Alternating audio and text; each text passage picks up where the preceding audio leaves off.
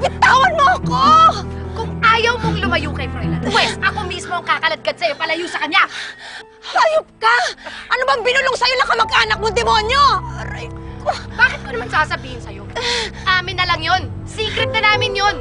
Kaya ikaw, kung ayaw mong mamatay ng biglaan, wag na wag ka na makakalapit pa kay Froilan! Nahawa na ng kamandag mo si Froilan kaya hindi ko na siya babalikan. Kung gusto mo ng away, doon tayo sa korte magkita. Ah! Ah! Ah! Ka! Halika dito! Saan mo ako dadalhin? Halika! Nahihilo ko! Tumahimik ka dyan! Pakiga! Vicky!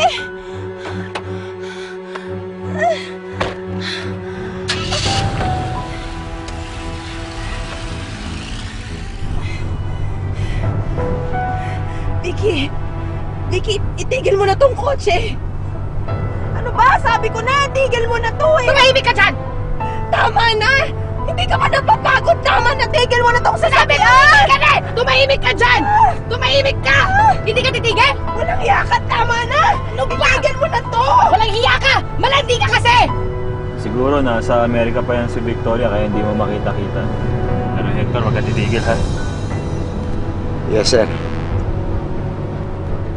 Sana makita ko na si Victoria.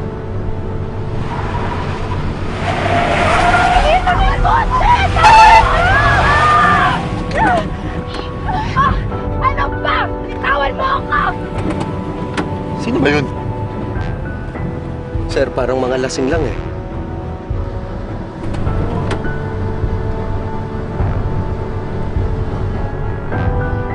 Bitawan mo ako sa amin!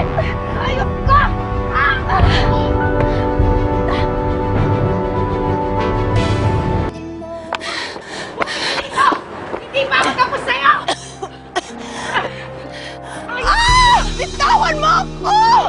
Hayop ka! Hanggat hindi mo pinapatahimik ang buhay namin ni Froilan, hindi rin kita matatahimik! At hindi kita susukuan! Hayop! Talaga? Hindi talaga kami titigilan, ha? Ha? Wala akong pakialam sa asa-asawahan mo! Ang importante sa akin, mapagbayaran niyo lahat ng mga kasalanan ninyo! Iwanan niyo na rin kami mag-iina! Patahimikin niyo na rin ang buhay! Nadihin sila. Nandiyan si Vicky. Si Mommy. Ang importante, sagutin mo lahat ng mga kasalanan ninyo! Vicky! Mag-iina!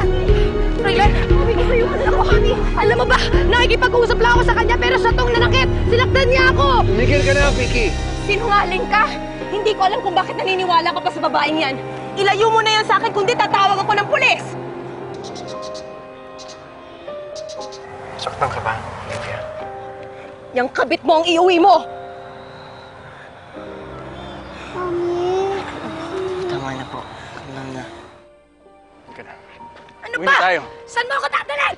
Nasasaktan Sumakay ka na sa sasakyan. Bakit siya hindi? Bakit hindi siya isitayin mo? Ha? Bakit hindi yung babae yun? Siya naman na may kasalanan eh! Ano ba? Sakay na.